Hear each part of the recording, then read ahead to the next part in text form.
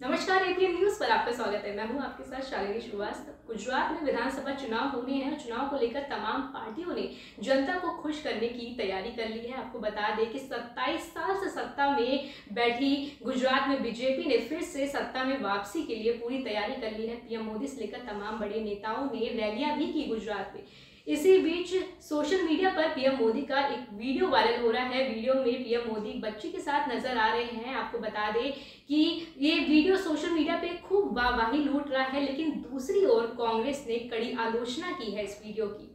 जब वीडियो में बच्ची बोल रही है तो प्रधानमंत्री मोदी उसके भाषण को बड़े ध्यान से सुन रहे हैं और उसकी बातों को खत्म होने के बाद पीएम मोदी ने उसका सर सहराते हुए उसको आशीर्वाद भी दिया। बच्ची ने वीडियो में बीजेपी की जमकर तारीफ़ की और उसने चुनावी प्रचार एक तरीके से आप कह ले कि ये किया है। उसने वीडियो में बच्ची ने कहा कि बीजेपी फिर से आएगी और बीजेपी हमें बचाएगी। इसके साथ से, साथ ही आपको बता दें कि बच्ची ने अयोध्या में राम मंदिर और स्टैच्यू ऑफ़ यूनिटी जैसी मुद्दों को लेकर भी उपलब्धियां गिनाई बीजेपी की ભાજપ ભાજપ ભાજપ જ્યાં જોવો ત્યાં ભાજપ આજે દરેક ચર્ચાની શરૂઆત થાય છે ભાજપથી આજે દરેક ચર્ચાનો અંત થાય છે ભાજપથી લોકો ભાજપને ઝુકાવા જાત જાતની રમતો રમે છે ચૂંટણી ન લડવાના સમખાય તોય ખાલી ખોટા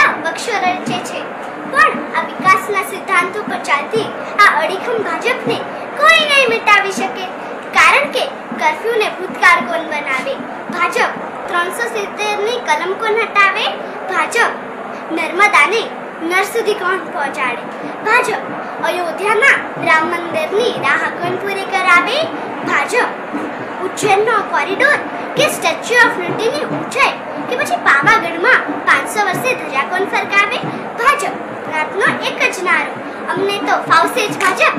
ખરી આવશે જ ભાજપ. ખરી આવશે જ ભાજપ. અમને તો ફાવશે જ ભાજપ. આભાર. આભાર. कांग्रेस ने इस वीडियो को लेकर बहुत कड़ी निंदा भी की है। कांग्रेस के नेता जयराम रमेश ने ट्वीट करते हुए कहा कि अब चुनाव आयोग कहाँ है? अब चुनाव आयोग क्यों कुछ नहीं बोलता है जब बीजेपी बच्ची का इस्तेमाल कर रही है? पीएम मोदी बच्ची से चुनावी प्रचार करा रहे हैं। इतना ही नहीं, आपको बता दें कि साथ ही साथ दूसरी ओर हेड जो हैं कांग्रेस पार्टी की सुप्रिया सिने उन्होंने भी बीजेपी पर निशाना साधते हुए ये बात कहा कि बीजेपी और पीएम मोदी दोनों बच्ची का चुनावी प्रचार के लिए इस्तेमाल कर रहे हैं। अब इस टाइम, इस समय बाल संरक्षण अधिकार आयोग कहाँ है? वो क्या सो रहा है? उन्हें क्यों वो, क्यों कुछ नहीं बोल रहा है सामने से आके? तो इन्हीं सब के बीच अब ये देखना होगा कि ये वीडियो जो सोशल मीडिया पे वायरल हो रहा है, ये क्या तूल पकड़ता है? बड़ी अपडेट्स के लिए आप बनी रहिए एपीएन न्यूज़ के साथ। मुझे दीजिए इजाज़त। नमस्कार।